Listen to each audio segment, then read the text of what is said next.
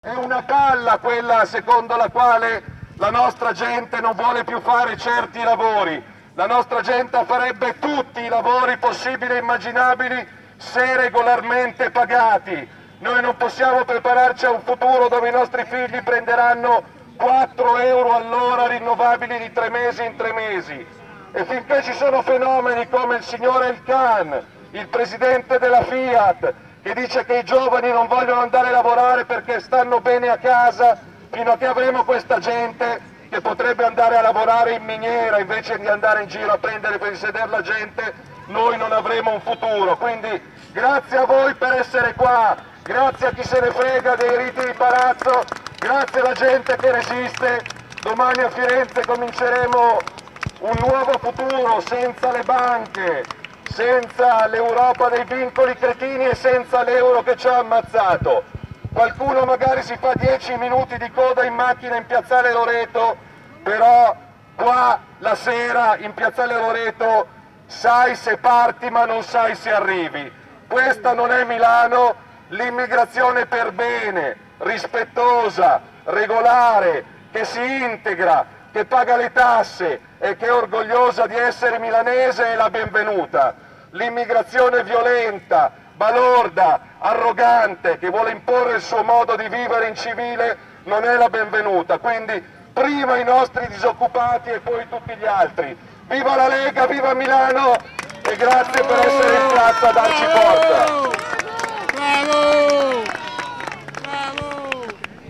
Siamo rammaricati noi perché a Roma fanno i soliti riti di palazzo romano mentre i problemi della gente sono questi, sono il lavoro, la disoccupazione, l'immigrazione, le tasse, l'euro.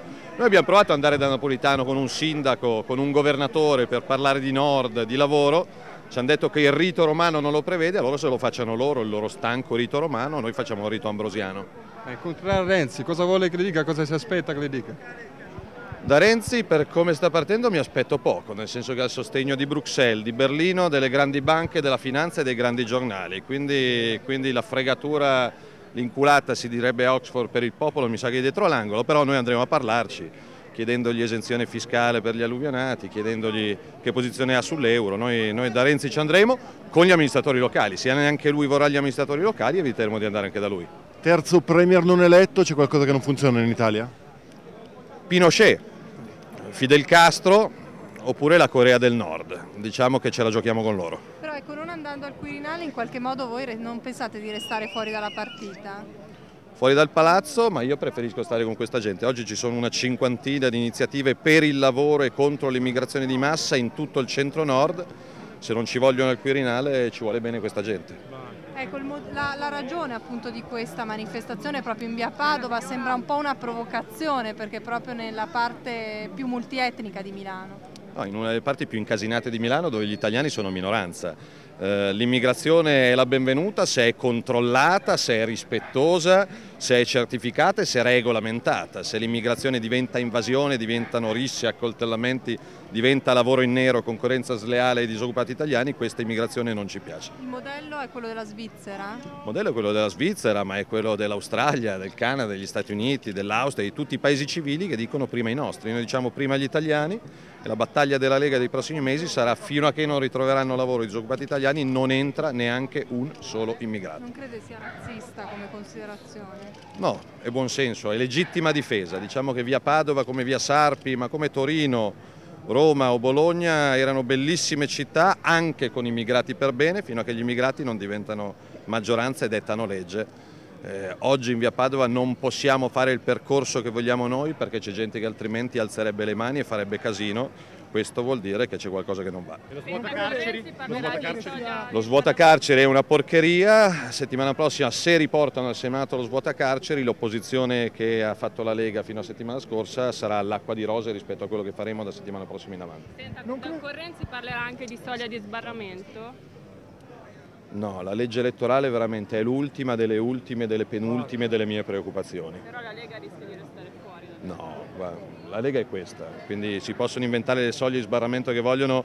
Non hanno capito che fuori dal palazzo la gente è veramente tanto tanto incazzata. Questa ennesima bega interna al PD che ha fatto perdere altre settimane di tempo fa perdere voti a loro fa incazzare la gente e dà più forza a noi. Barroso, Barroso benedisce mentre la Merkel è lì che attende. È ancora una volta l'Europa a dettare eh, la politica italiana? È da 15 anni che l'Europa fa forca e disfa in Italia, quindi quando noi diciamo fuori dall'euro per far ripartire il lavoro è perché l'Europa delle banche non ci piace, quello che va bene alla Merkel e a Barroso non va bene agli artigiani, ai commercianti e ai disoccupati italiani. Ma in un paese di, di, storicamente di emigrati come l'Italia non le pare una contraddizione dire che gli immigrati causano la perdita del lavoro? Non crede che la perdita del lavoro sia più dovuta al sistema economico in cui viviamo? Gli italiani hanno sempre esportato rispetto, tranne quelli che esportavano mafia ma non partivano da Milano. Detto questo, l'uscita dall'euro per noi è la ripartenza del lavoro, ma in un momento di crisi le case popolari, i bonus bebè, i bonus affitto, i bonus per pagare le bollette e gli stessi posti di lavoro vanno dati con precedenza agli italiani, così accade in tutto il resto del mondo. In Australia danno il posto di lavoro prima agli australiani e se non servi non vai in Australia, non vedo perché da noi debbano arrivare tutti. Ancora due incroci e ci sarà una contromanifestazione, ci sono molti centri sociali. E quindi siccome c'è gente che interpreta la politica come violenza, come sopraffazione, come pietre e bottiglie, noi che siamo gente responsabile invece di andare da una parte andremo dall'altra, quindi quelli là rimarranno a berciare da soli in mezzo alla strada. I rapporti con Forza Italia ora come sono? Forza Italia ha votato la legge Fornero, eh, ha votato tutto quello che ci ha portato in questo disastro dell'euro, quindi ad oggi i nostri rapporti con Forza Italia sono buoni a livello locale, governiamo tanti comuni, governiamo la Lombardia e il Veneto in base a dei programmi seri, a livello nazionale non esistono rapporti con Forza Italia. Se la Chiang fosse riconfermata Ministro?